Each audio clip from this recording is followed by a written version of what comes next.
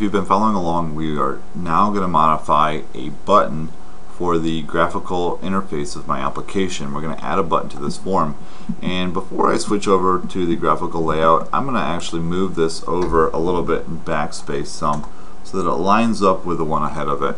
And the reason why I'm doing that is because if we don't start paying attention to some of the details and the order within how things are set up, we can easily start getting lost in our code. So I like to kind of clean it up so that it provides some kind of organizational detail to how my code is written. Now I'm going to switch over here to the graphical layout and we're going to go ahead and look at it moving over a button.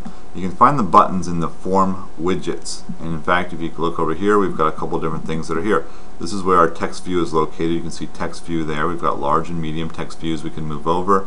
We've also got buttons, and I've got this button here as well as this toggle button here. I'm going to move over this one here that just says button on it, drag it, and I'm going to drop it down below the by Matthew Penning by my name. And you can see there's my button.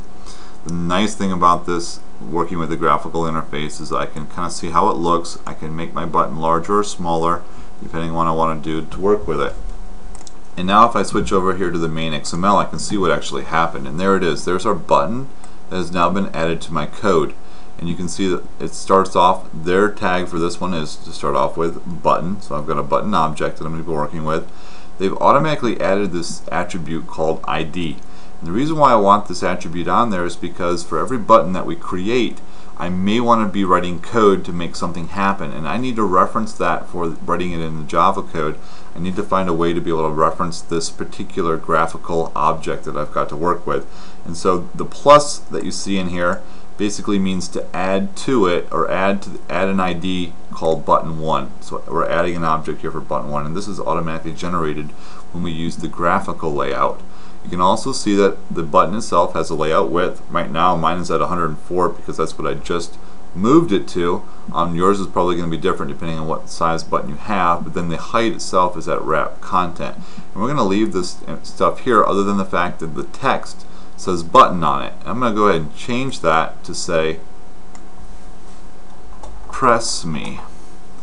And now if I go ahead and choose file save, and switch over to the graphical layout, you'll see my button now says press me.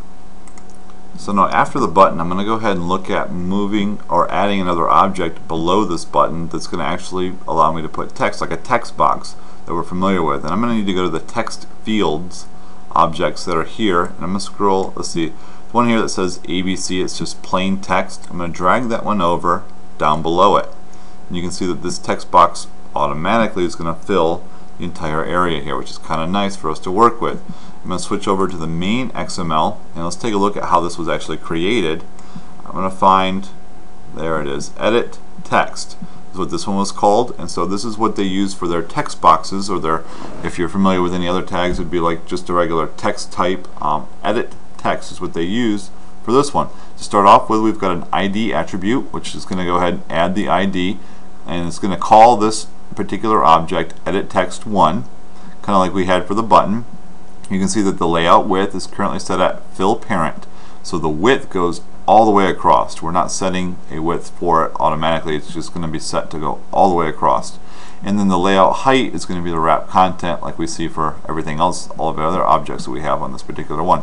So this is my text box that we're working with. It's called edit text 1 and the button that we added was called button 1 the names that we're using for our IDs in this particular project aren't going to matter so much. However, you can start seeing that if I have a lot of different text boxes that I'm going to be working with my application, we should probably start thinking of some kind of naming convention for the text boxes or the edit text objects that we have as well as the button objects that we have because button 1 really doesn't tell me anything if I've got 10 or 15 buttons on my particular display.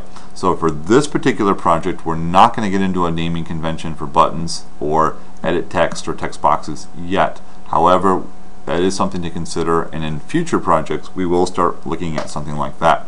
So if I go back to my graphical layout, this is what my particular program is starting to look like. And I've got the whole graphical front end to my pro program set up. So now in the next video, I'm going to start working on actually writing some code to make things happen whenever we press this button and we can actually see some text being displayed in the text box.